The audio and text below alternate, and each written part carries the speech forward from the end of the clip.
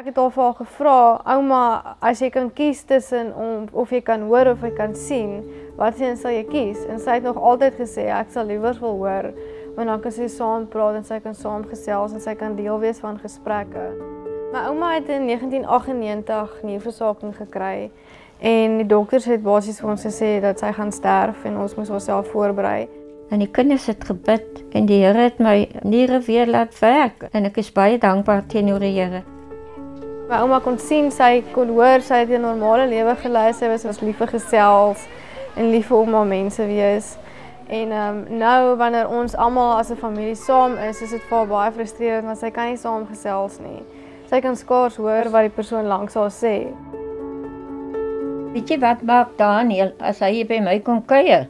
Dan kom sit hy hier langs my. Hy sit sy arm so om my skouer en hy praat so naby my oor. En dan hoor ek hom baie beter. En dan sê hy met ouma my nou gehoor. Mm. en meeste van die tyd dan sê ek maar ja, maar dan dink ek maar nie eintlik gehoor. en ouma was baie lief vir kerk toe gaan. Ek kan nie eers die liedjies hoor wat die mense sing nie. Baie vir gevra my ouma as ouma droom kan ouma sien. En dan sal sy sê ja my kind en dan vra ek vir my ouma hoe lyk ek? En dan sê sy vir my nee jy is nog steeds daai 5-jarige dogtertjie met die blonde krare. Ek onthou julle as julle was. Jy sal nou seker altyd vir my ou klein dogtertjie bly. So stook jou laas gesien het.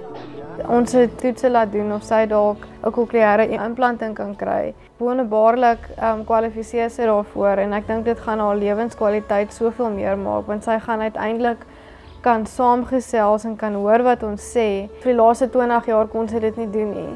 Dit is ongelooflik en dit veroorsaak baie beter gehoor as die uh, oudtydse gehoorapparate. Ek het nou al vandat ek doof geword het, het ek nou al 6 gehoorapparate gehad.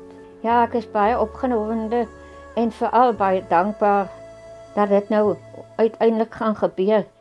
Ons het ook 'n bietjie ekstra fondse nodig om dit te kan doen. Die mediese fonds betaal vir meeste van dit, maar daarso is 'n bedrag wat ons nodig het. En ons wil graag vir elke persoon wat vir my ouma ken of wat weet van haar, as die Here dit op jou hart sit om te ja betaal aan die bedrag wat ons nodig het. Dit sal regtig diep waardeer word deur almal van ons en sy gaan nie meer geïsoleerd wees nie. Die Here het vir my oudste tannie, tannie Lorina, gewys dat ouma gaan eers hoor voor sy kan sien en ek glo met my hele hart dat dit gaan gebeur.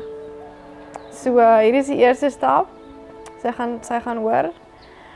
En die volgende een gaan wees sy gaan sien en sy gaan sy is klaar lopende wonderwerk, maar sy gaan 'n getuie wees van dat God regtig 'n waarmaker is van sy woord. Ek gaan die dae vat soos dit kom. Want die Bybel sê tog vir ons waarom bekommer jy jou oor die dag van môre?